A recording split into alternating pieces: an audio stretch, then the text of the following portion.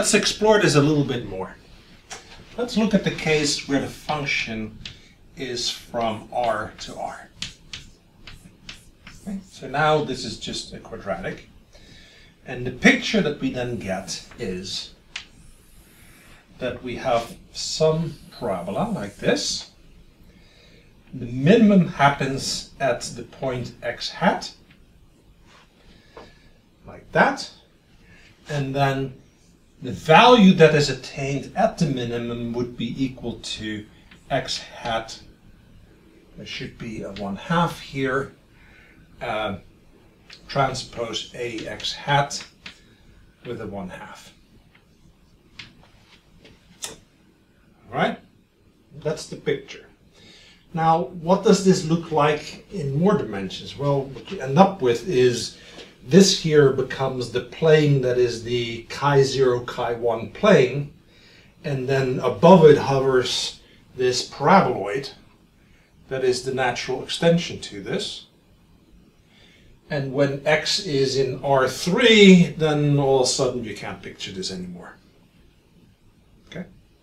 So let's look at the 2D case. One way we can view this in the 2D case is to say, well, here is our chi0, chi1 plane because our vector x now consists of chi0, chi1.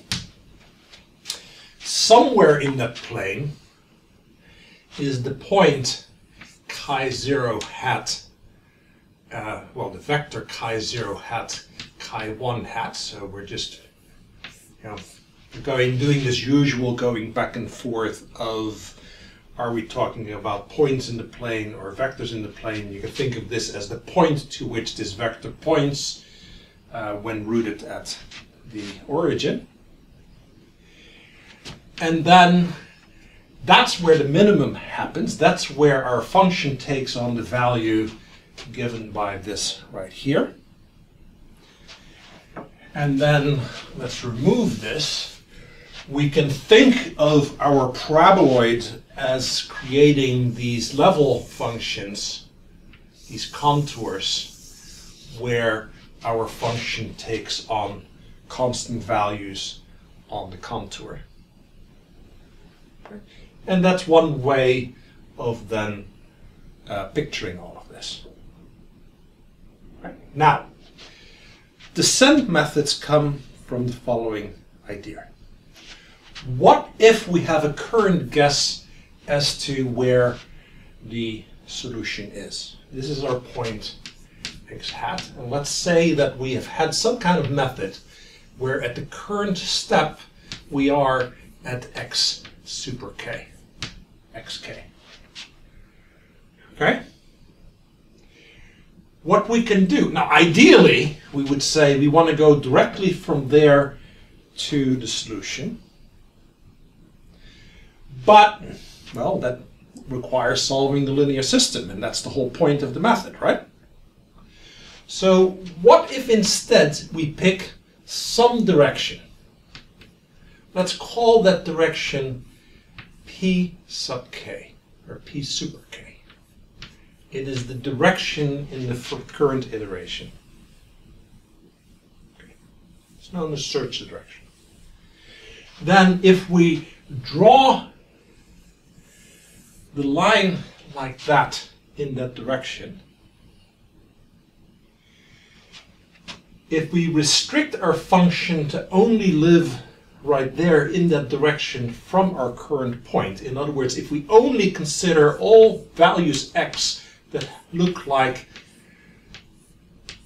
xk plus some constant alpha k times the search direction uh, p Okay?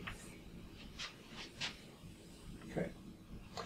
Then all of a sudden we can say, oh, let's pick the alpha k to optimizes that optimizes this. Well, in this direction, our function will simply look like this, except that it's parameterized by alpha, or alpha k. We can then find what the minimum is in that direction let's say it's somewhere right here.